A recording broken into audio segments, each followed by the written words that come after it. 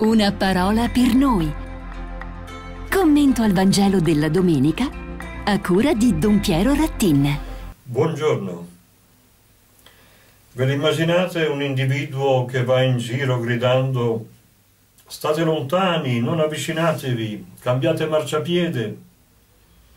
Ecco, i lebrosi duemila anni fa dovevano comportarsi così.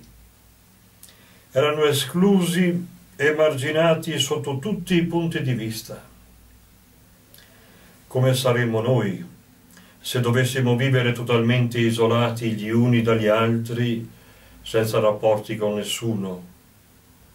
Siamo fatti in modo tale che non possiamo prescindere dalle relazioni. Anzi, noi valiamo in base alle relazioni che coltiviamo. Non sono poche le persone che, pur vivendo in mezzo ad altra gente, in realtà sono perennemente sole, o perché non hanno relazioni con nessuno, oppure se ne hanno sono estremamente povere, superficiali.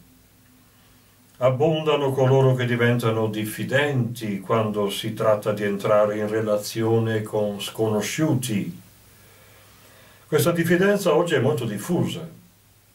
Ci si difende in tutti i modi dalla complessità sociale si nutre paura nei confronti dei molti stranieri che si incrociano, anche perché tra loro a volte si annida la delinquenza.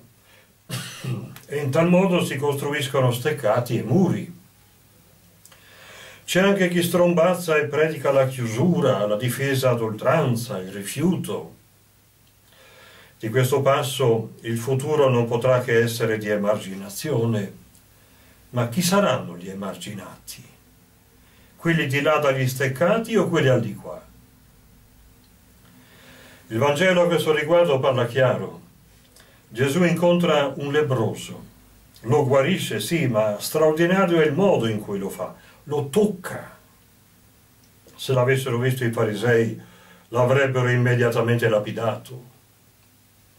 Ma non bastava un intervento a distanza, fu la relazione a recuperare quel lebroso alla dignità, alla vita. Gesù che tocca quel lebroso è Dio che vuole entrare in relazione con ogni persona. Allora non c'è motivo da aver paura ad aprirsi a realtà e a culture diverse dalla propria.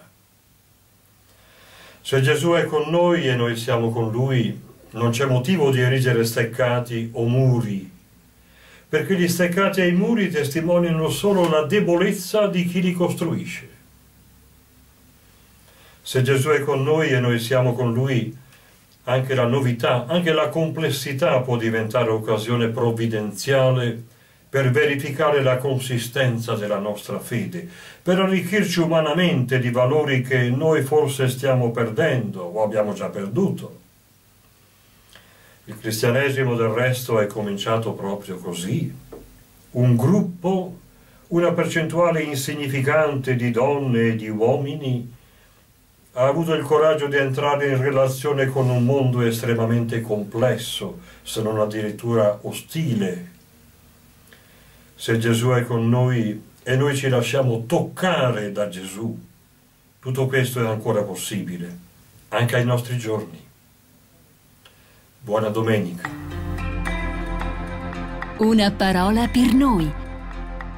Commento al Vangelo della domenica a cura di Don Piero Rattin.